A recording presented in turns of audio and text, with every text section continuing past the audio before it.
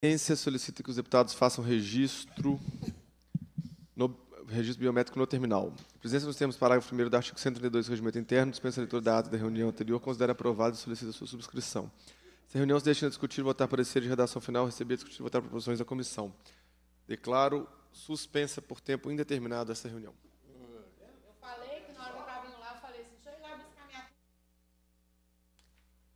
Passa-se a primeira fase da ordem do dia, que compreende discussão e votação de pareceres sobre proposições sujeitas à apreciação do plenário.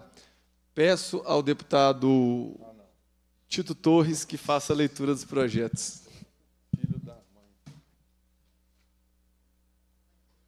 Proposta de emenda à Constituição 2 de 2023 acrescenta o artigo 5 à Constituição do Estado para garantir a gratuidade do transporte coletivo público. Autores, deputada Bela e outros.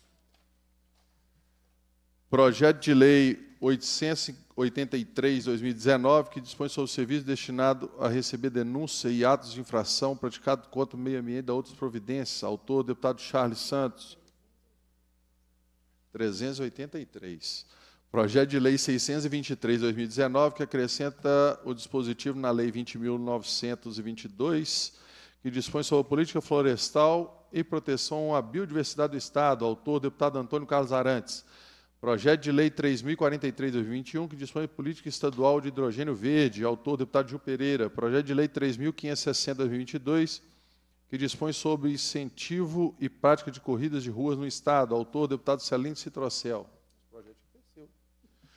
Projeto de Lei 3.782-2022 reconhece como de relevante interesse cultural o Coral Araras Grandes, do município de Araçuaí. Autor, deputado Dr. Jean Freire. Projeto de Lei 3.796-2022 reconhece como de relevante interesse cultural do Estado o modo mineiro de fazer doce de tacho de cobre, autor deputado Mauro Tramonte, projeto de lei 3.894 de 2022, reconhece como de relevante interesse cultural do Estado a festa Preto Velho em Belo Horizonte, deputada Andréia de Jesus, projeto de lei 14 de 2023, não foi apreciado em plenário, projeto de lei 264 de 2023, reconhece como de relevante interesse turístico, cultural, social, gastronômico e religioso, O Caminho da Estrada Real, autor, deputado professor Cleiton, projeto de lei 368-2023,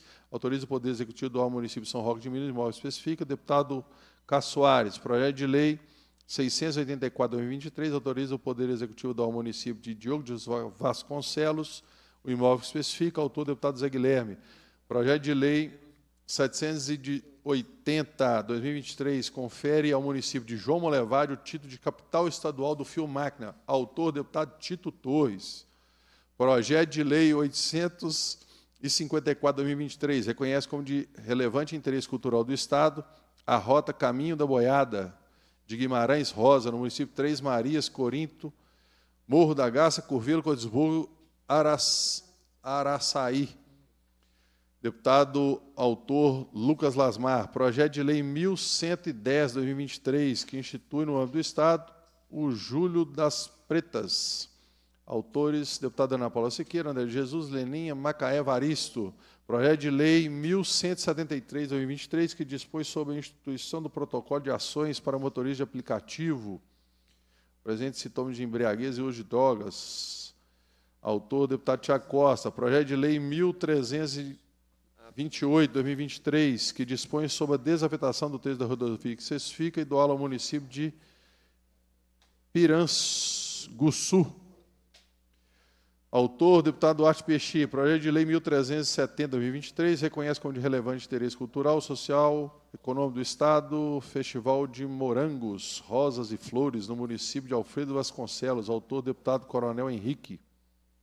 Projeto de Lei 1466 2023 reconhece como de relevante interesse cultural o evento da Feira Palmital, no município de Santa Luzia, autor delegado, deputado delegado Cristiano Xavier. Projeto de Lei 1895 2023 autoriza o Poder Executivo do município de Monte Carmelo e Imóvel especifica, autor governador Romeu Zema. Projeto de Lei 1991 2024 que dispõe sobre o Programa de Prevenção e Combate de Dengue Autor, deputado Gustavo Santana. Projeto de lei 2.366-2024, que dispõe sobre diretrizes, elaboração e execução lei orçamentária anual do exercício 2025. Autor, governador do Estado.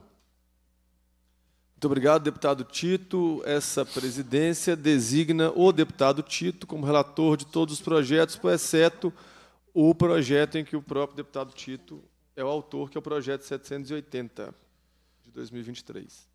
Meus pareceres contêm a redação final da matéria de acordo com o aprovado durante a tramitação.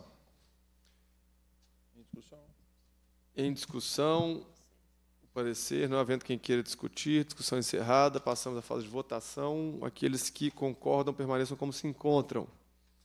Aprovado, passa-se a segunda fase da ordem. Perdão, colocamos apresentando o parecer do projeto 780-2023, que contém redação final de matéria de acordo com o aprovado durante a tramitação. Em discussão, parecer.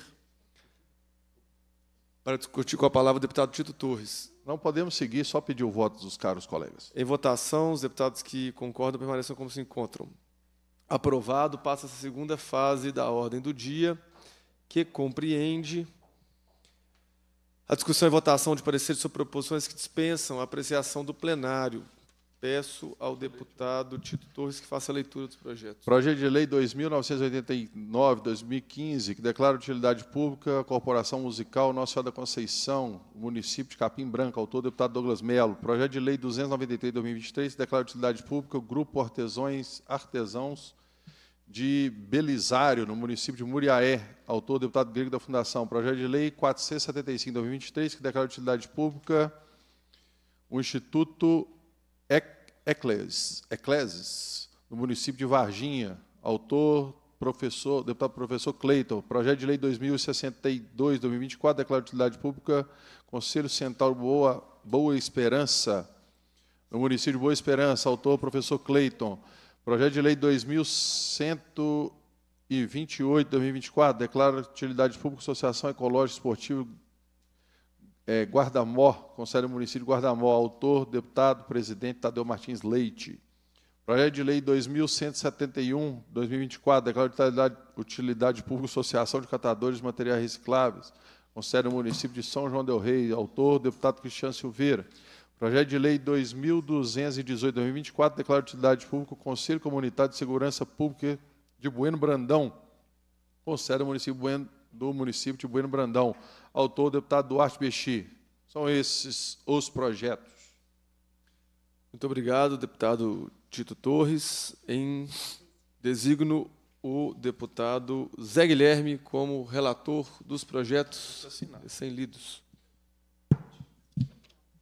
Obrigado, senhor presidente, deputado Orgal Andrada. Meus pareceres contêm a redação final da matéria, de acordo com o aprovado durante a tramitação. Devolvo a presidência, deputado Orgal Andrada. Muito obrigado, deputado Zé Guilherme. Em discussão, parecer. Não havendo quem queira discutir, em votação os pareceres. Aqueles que concordam permaneçam como se encontram. Aprovado. Cumprida a finalidade da reunião, a presidência agradece a presença de todos, convoca os membros para a próxima reunião ordinária, determina a lavatura da ata e encerra os trabalhos.